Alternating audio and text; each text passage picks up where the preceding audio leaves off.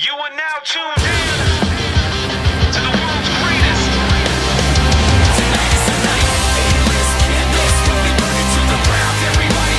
Raw 7 de noviembre de 2022, análisis picanta.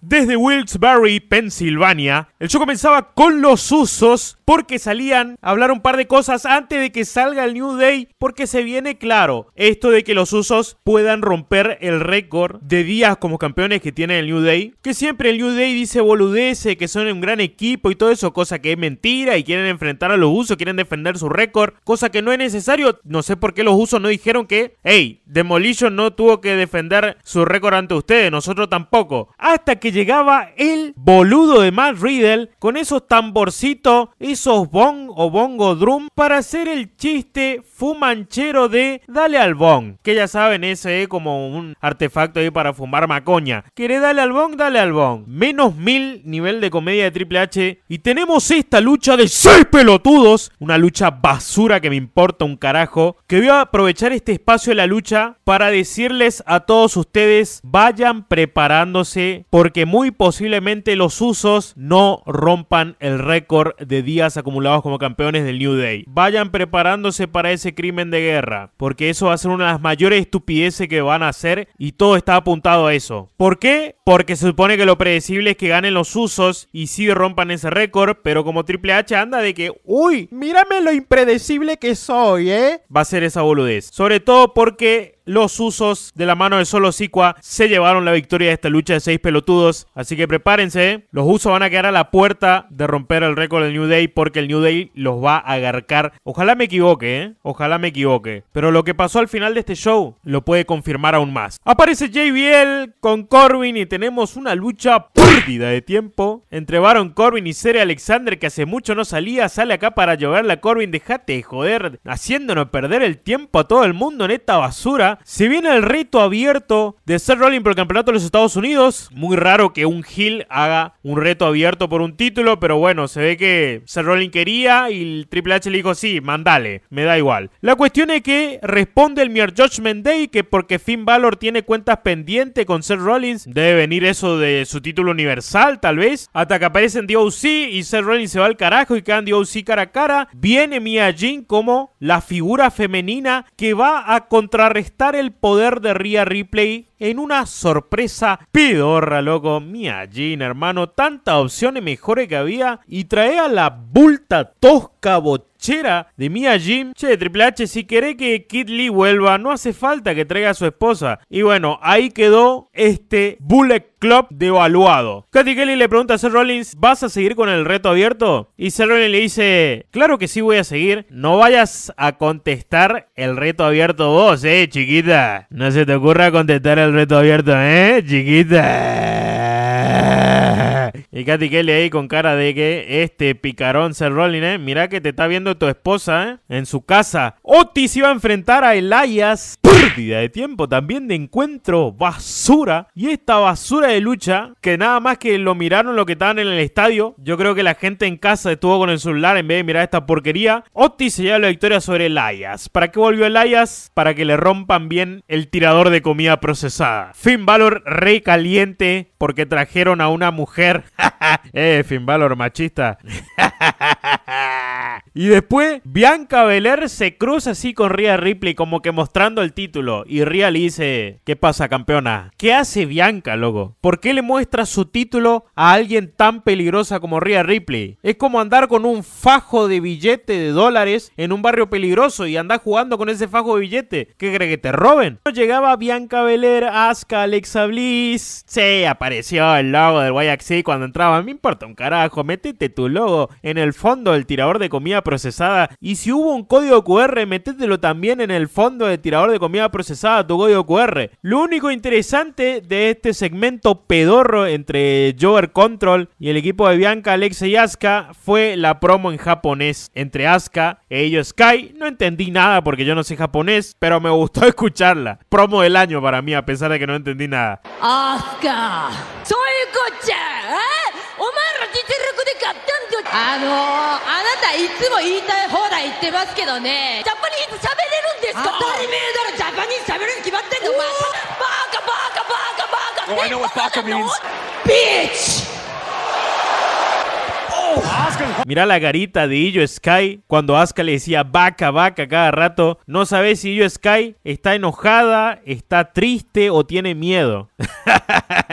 Esa carita. Y bueno, piña van, piña vienen, las muchachas se entretienen, se empezaron a dar un rato, apareció Nikki Cross, puso de su parte y bueno, quedaron las buenitas tiradas, pero Bailey seguía un poco deprimida. Shelton Benjamin versus Austin Theory, pérdida de tiempo también de lucha, un combate de relleno random de que hay que hacerle trabajar a Austin Theory. ¿A quién le ponemos? Y Shelton Benjamin. Eh, vos, Shelton, sí, deja eso, ese plato de comida que está preparando. Sé que ahora trabaja en el catering, pero deja eso que vas a luchar, eh. Hoy vas a luchar con Austin Theory porque no tenemos a nadie. Y lo mandaron. Yo no sé por qué hacen esto, no sé si quedó gente en Arabia atrapada, pero ya pasó una vez de que quedó gente en Arabia y hicieron un SmackDown de 10. Esta vez parece que no funcionó. Austin Theory se llevó una victoria con la chota flácida promo berreta del Miss diciendo que es todo mentira lo que dijo Gargano. Y Gargano llega y dice, es todo verdad lo que dije. Y te va a mostrar un video. Y muestran un video del Miss diciendo, Gargano dice la verdad. Y bueno, señora la lucha, piña van, piña bien entre el Miss y Gargano. Pérdida de tiempo también. No sé, ¿alguno va a rescatar algunas cosas buenas de la lucha? No, a mí me aburrió. La verdad que a esta altura del show ya no me importaba nada. Ya saquen lo que termine el programa una vez. No hicieron la gran cosa como para meterme en el combate y decir, uh, qué interesante. Bueno, lo único que se puede destacar es el Miss fingiendo que alguien lo jalaba del fondo del ring para que el referee vaya revise y darle ahí con una parte del ring ahí metálica y reventar a Gargano y llevarse la victoria para después ser atacado por Dexter Loomis y Dexter Loomis que después salió corriendo ahí porque venía la seguridad. Siguen con esta boludez, parece que toda la semana lo mismo. Atención, match car histórica porque podríamos estar presenciando la última lucha de la historia del 24-7. Dana Brooke versus Nikki Cross. Nikki Cross bien loquita, llega. Hay una mariposa en su logo. Bueno, podemos decir teoría de que Nikki Cross tal vez está coludida con el YX6. No sé, no me importa tampoco. Y bueno, tenés la lucha por el 24-7 en el ring. Bailey deprimida, a nadie le importa. Piña van, piña viene. Nikki Cross se lleva la victoria casi que sin problema contra Dana Brooke. Dana Brooke completamente humillada. Nikki Cross nueva campeona 24-7 para después en backstage intentar arrojar el título a la basura. Porque sí, tuvo la intención Nikki Cross de arrojar el título a la basura al 24-7, pero le erró.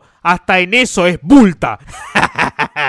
bueno, Nikki Cross no es bulta. O no tanto, bueno, depende, depende de la visión de cada uno, pero quería decir la frase de que hasta en eso es bulta. Para divertirnos un rato con este show nefasto, Mia Jim invita a la ronda de tequila, de whisky, de cerveza para todos. Ella está el preocupado porque toman mucho ahí Gallows y Anderson. Ahora sí, una vez más, reto abierto por el campeonato de los Estados Unidos. a ver si Seth Rollins, loco, encima un Hill intentando un reto abierto dos veces en la misma noche. Y bueno, ¿Quién responde? Mustafa Ali. Pero no es que entra Mustafa Ali, sino que aparece en una pantalla. Salí, boludo. Salí al ring. ¿Qué hace en una pantalla hablándole? Obviamente aparece Bobby Lashley y le dice, zarpa de acá, gato, y lo manda a volar. Y Bobby Lashley le dice, ¿sabe qué? Yo te iba a humillar, te iba a quitar ese título, no sé qué, porque vos me humillaste a mí y perdí por tu culpa. Y no, lo que Bobby Lashley viene a hacer no es a quitarle el título a Seth Rollins, sino a reventarlo. O sea, ni siquiera deja que empiece la lucha. Deja que empiece la lucha, loco. Si sos tan fuerte, Bobby, deja que empiece y quitarle el título. ¿O qué? ¿No te interesa el título de los Estados Unidos? ¿No está queriendo decir que no importa esa porquería? Que es un título midcar pedorro que no tiene importancia que preferir reventarle a Seth Rollins. Eso es lo que yo entiendo. Y como quedó reventado Seth Rollins, aparece Austin Theory a canjear su maletín de Money in the Bank por un título midcar. Yo no puedo creer. La gente que dice que tiene lógica esto, porque Roman Reigns está muy rodeado por los usos y su familia, y que canjearlo contra Seth Rollins era más fácil, la gente que dice eso, no sé, no tienen cerebro directamente. Ya no es que no sepan de lucha, sino que no tienen cerebro, no tienen pensamiento lógico, o sea, o sobrepiensan demasiado las cosas que piensan estupideces. Y bueno, piña van, piña vienen. Por un momento parecía que Austin ganaba, pero se defendía muy bien Seth Rollins. Hasta que aparece Bobby Lashley y termina de reventar a Austin Theory porque Bobby Lashley no sabe lo que quiere. No sabe si quiere que Seth Rollins pierda, no sabe si quiere que Seth Rollins siga con su título, no sabe si odia a Austin Theory, no se sabe nada. Eso sí, lo deja bien reventado. Mirar la cara de Austin Theory, cómo queda la cara. O sea, se lo recontra a Austin Theory. Lo dejó reventado y bueno, de esa forma Seth Rollins retiene su campeonato de los Estados Unidos y Austin Theory canjea fallidamente. Esto es una boludez más grande que una casa. Canjear fallidamente por un título midcar. Si se sacan la excusa barata de que era un reto abierto y todo eso, no vengan con eso porque Austin Theory canjeó. No vengan con una excusa peor de la decisión que ya tomaron, ¿eh? Ya lo perdió, ya está. A mí me importa un carajo Austin Theory, sinceramente. En serio, me importa un choto. O sea, no era mi luchador favorito. Como carisma siento que le faltaba un poco más. A veces daba una promo medianamente decente. Eso sí, en las expresiones y a la hora de vender es muy bueno. Y en el ring también. Pero no era de mi favorito Austin Theory para nada. Es más, yo quería que canjee fallidamente. Pero contra el jefe tribal, no con un título midcard que a nadie le importa. Esto no se trata de que ser el idiota de siempre, de que festeja todo, de que, ay, qué bien que entrenaron a Austin Theory. ¿eh? El hacerse el que, uy, estoy contra el mundo porque tuiteo boludece, porque soy un pelotudo en Twitter que no da la cara y dice, Austin Theory bien, Austin Jover.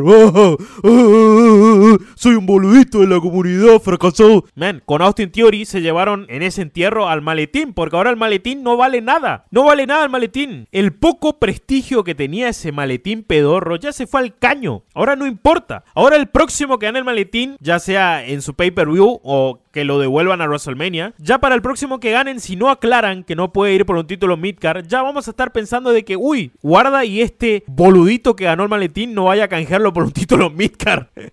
o sea, la gracia era de que sea por un título mundial, porque si fuera por cualquier título, ¿quién sería tan imbécil de canjearlo por un título ya sea en pareja o título midcard? O sea, ¿quién diría, no, no, es muy pronto para mí para ser campeón mundial? ¿Entendés? O sea, imagínate que en el fútbol haya un maletín y pueda canjearlo por cualquier título. Título que te corresponda obviamente a tu confederación. Y si son clubes sudamericanos y decir, no, ¿sabe qué? Yo no quiero la Libertadores. Yo no quiero el Mundial de Clubes. Lo voy a canjear mejor, no sé, por la Copa Argentina o por eh, el campeonato local. o sea, no. Uno de los peores Raw, pero de la historia. No le voy a poner crimen de guerra a lo de Austin Theory porque sinceramente les digo, no es un luchador al que le tenía cariño. Al maletín tampoco le tenía mucho cariño. Si con esto que el maletín no debe existir más, bienvenido sea. Pero ojo y se venga el crimen de guerra la próxima semana cuando decían que el New Day le arruina la fiesta a los usos protegiendo su récord, ¿no? Su récord regalado que le dieron a lo del New Year Day. La nota para este show semanal de la marca roja es un cero. Un cero. Viene en el fondo del ojete para semejante y asqueroso Raw que debería ser borrado de la historia. F en el chat para aquel que no lo haya visto en vivo y lo vea en la network porque diga, uy, esta semana vamos a ver qué pasó Raw y se fume ese Raw completo sin haber visto este análisis picante. Y bien amigos, esto fue todo. Ya sabes que si te gustó, dale like, comenta y comparte. No olvides suscribirte y seguirme en todas mis redes sociales. Si llegaste hasta aquí es porque sos un warjadicto. Nos vemos en otro video y recuerda, no lo intentes en casa. Bullet Club. Four, four, four,